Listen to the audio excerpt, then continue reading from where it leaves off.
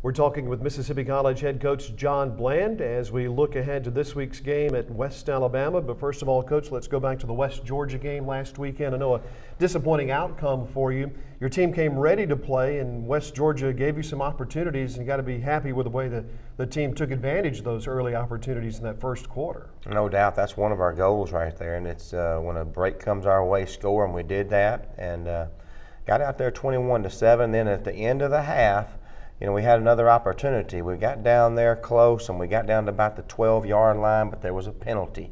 One of those penalties that hurt us. Uh, we had one that hurt us on a special team later on, a couple of them, and, and one on defense when we had a penalty on fourth and two for them. So all those things kind of add up. We were going into that ball game. You know, if we looked at those statistics, we were in number four in the nation on least penalized team in the nation, number four out of all the Division two teams, which is really good and we still weren't penalized very much. Now there was eight penalties, but there were some flags that were picked up. We had a targeting call, which was later seen uh, in Division Two. You kind of wait till halftime, but he didn't touch him, which is kind of odd. But uh, that hurt us, you know, when you take players off out of the game, and uh, and uh, took our one of our starters out of the game when he didn't do the actually have a penalty, but he did get be able to come back in. So. Uh, those type of things are you know, something we've taken pride in this year and, and not being penalized, but we had a few that might have hurt us a little bit. You know, again, that hasn't been something that's been a, a, problem for teams that you've coached during your time here at Mississippi College, and that's due to coaching and players paying attention to those kinds of things. But every once in a while it does happen. I think it just goes to show you that every every week you're playing such good quality opponents that those kind of mistakes can can cost you in the ballgame.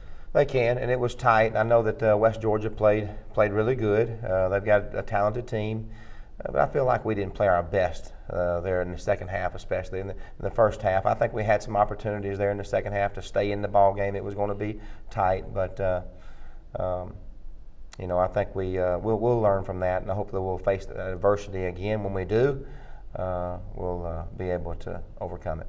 Know, there were a couple of individual good performances. Dietrich had one of his best running games as, as a quarterback, but I thought West Georgia did a pretty good job at defending against what you were trying to do and took a lot of the between the tackles running away.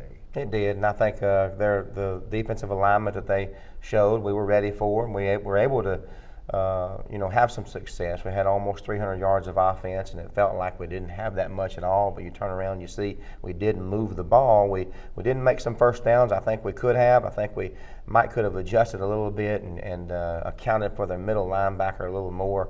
Uh, he made a lot of plays there in the second half, and uh, there's two guys there, and they we, they freed him up. There was by covering up our offensive linemen, so we had a chance, our chances. But uh, I, I, feel like they played well, you know, on, on defense and uh, our guys did play well, but just not not good enough.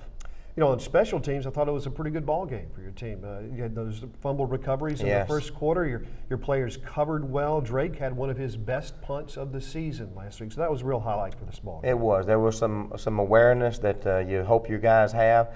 Well, when the ball rolls up there and touches one of their guys in the leg, it's very tough to do that on defense or, or on punt return and punt. And we, we took advantage of that. We also uh, punched two balls out their return game. One we got, one they recovered again, and then we end up having a face mask on that same play. And, the, and so uh, we were able to do some good things, but also we had a block below the waist. We had a face mask on, on special teams as well. So a couple things that hurt us. But uh, we're continuing to get better and better in a lot of those areas, and I think that's uh, been a, a, testament to those guys and just continue to work, continuing to, to pay attention, but also work and, and practice to be, be the best they can be. We got a tough road test against West Alabama. This is a team that's kind of been up and down this season, but they've got a pretty stout defense coming in, and you saw that what they did to the Choctaws last year, holding MC to just three points. Yes. So, how do you attack this defense this season? Well, same thing is we get it's all about blocking, and, and you've talked about the whole game, blocking, tackling, and, and hanging on to the football, and on defense creating turnovers. On offense, though, we've got to block and uh, that's what we've been doing better than we have in the past. And I think that we're running the ball extremely well. We're hanging on to the football. So if we can continue to do those things, I know they're going to try to free up their linebackers. They're really fast. Uh, their secondary reacts really good. They will come up for the run, but they'll also turn and cover on the pass. So they've got a lot of good football players on both sides of the ball. But, we, but to, to score more points, though, we're going to have to block them and we're going to have to make big plays when they're there. So uh, that's our that's our goal, and our players are ready for that challenge.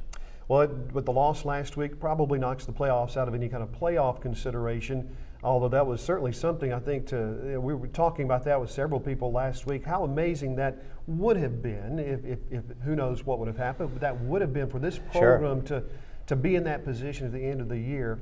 Uh, is that something that you would uh, talk with the coaches or players about at all? That that was a possibility, and how they kind of react after the loss last week?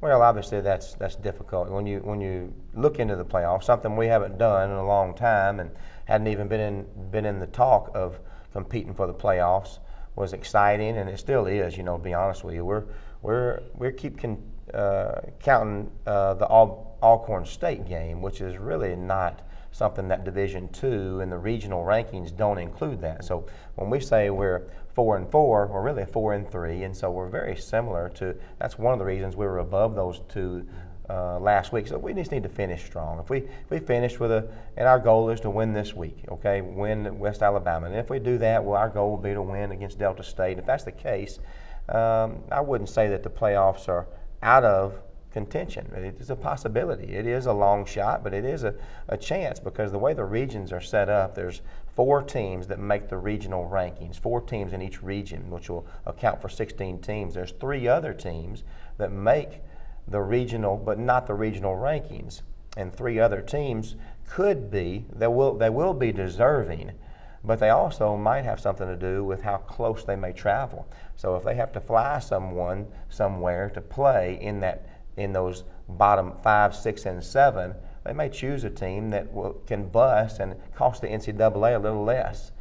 And that's always something we're, we're for saving money. That's what we need to do too. So there's a chance, and uh, not that we will get in and be undeserving, but if we win our next two games, we'll give them something to think about. And that's what all these levels of football that have playoffs. That's what they want to do. They want to be in the conversation, and and uh, I feel like if we do win those two, we'll be in the conversation for sure. And that's all we're asking for. But we're, but we're going to take it one game at a time. We got two left in the regular season. We'll see what happens. And there'll be two good performances, we know. And if you get those two wins, that's a record above 500, and that's one more step forward for this program. No doubt. It's uh, you know, it's been very tough, and not because of the transition. We all know that has been difficult because of just getting the talent level and the guys in this on this team that can compete and go toe to toe with the rest in the Gulf South Conference.